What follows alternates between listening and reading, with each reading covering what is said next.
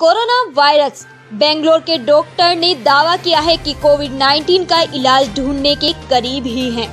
बेंगलोर के एक ऑन्कोलॉजिस्ट ने दावा किया है कि वह जल्द ही कोरोना वायरस के इलाज में प्रभावी दवा को विकसित कर लेंगे।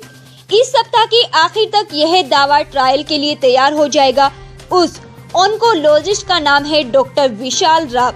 यह जानकारी न्यूज़ एजेंसी एएनआई की रिपोर्ट से मिली है।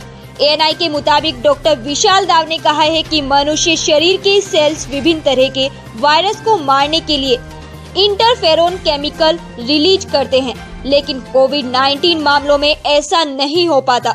इसकी वजह से इम्यून सिस्टम कमज़ोर हो जाता है। आइए जानते हैं कि इसका इलाज कैसे संभव है।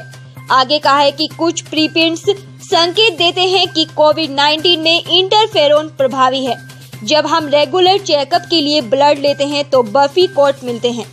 जिन्हें सेल्स को निकालने और इंटरफेरोन क्रिएट करने में इस्तेमाल किया जाता है।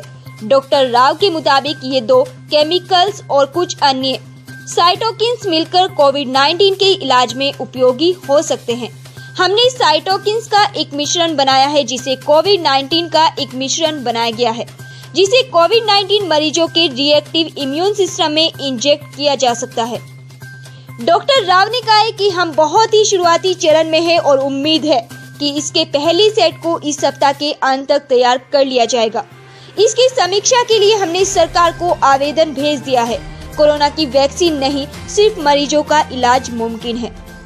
आगे उन्होंने बताया कि हमारे शोध ने हमें पाया है कि इंटरफेरोन कोविड 19 से लड़ने में भी मददगार है। इसके लिए हमने साइटोकन्स का एक मिश्रण तैयार किया है, जिसे कोविड 19 के मरीज़ के इलाज के लिए उसके शरीर में इंजेक्ट किया जा सकता है। उन्होंने कहा कि यह कोई वैक्सीन नहीं है और इसे कोविड 19 से संक्रमित होने से बचा नहीं जा सकता। इसका प्रयोग सिर्फ़ कोविड 19 से संक्रमित मरीजों के इलाज के लिए किया जा सकता है। धन्यवाद। हेलो फ्रेंड आगे बढ़ने से पहले यह ज़रूरी काम ज़रूर करें।